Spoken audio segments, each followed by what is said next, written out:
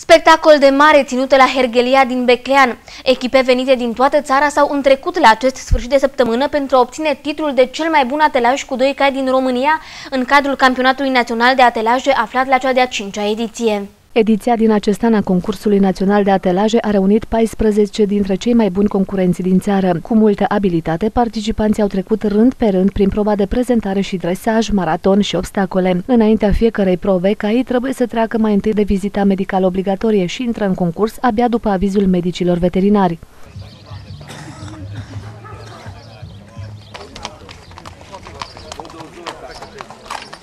Se întâmplă Uh, un eveniment deosebit pentru noi, adică cea de-a doua etapă a Campionatului Național de Atelaje, organizat de Federația Ecvestră Română, Clubul Hipic Rom Silva, respectiv Direcția Silvică Bistrița Hergelia Becleanu.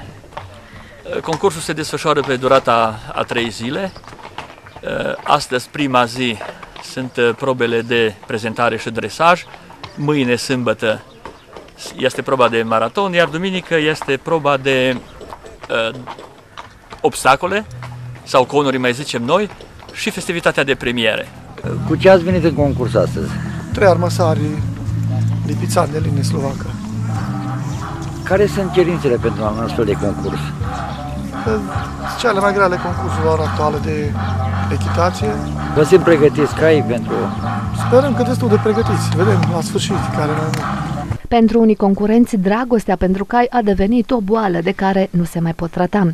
Povestea iubirii pentru cai a început cu povestea iubirii pentru soțul meu. Când l-am cunoscut, m-am îmbolnăvit. A intrat microbul și nu mai pot să-l scot. Sunt la fiecare concurs. Oriunde se simte miros de cal, sunt și eu prezentă.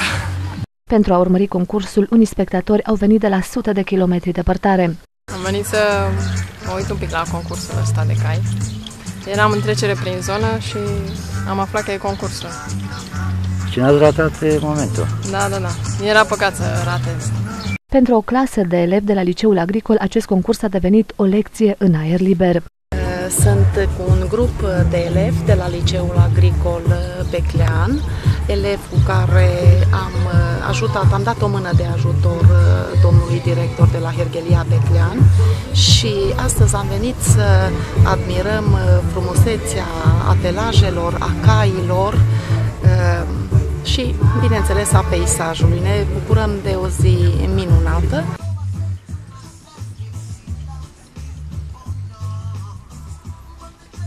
Ce urmărește arbitrul?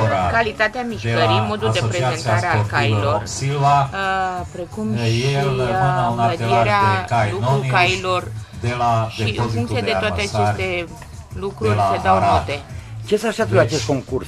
sonărie, nu să intră, că nu intră cel mai bun pentru să câștige această competiție.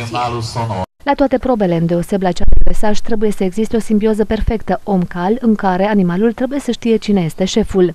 Da, care este legătura? Iubirea calului și animalelor. Mai ceva nu pot să spun altceva. Simte calul cine stă în spatele lui? Păi da, dacă eu sunt uh, proprietarul și eu să dau mâncarea, cunoaște și uh, vocea mea și dacă se aude când vorbesc eu, el știe cu cine este șeful. Premiul cel mare pus la bătaie a fost de 2500 de lei.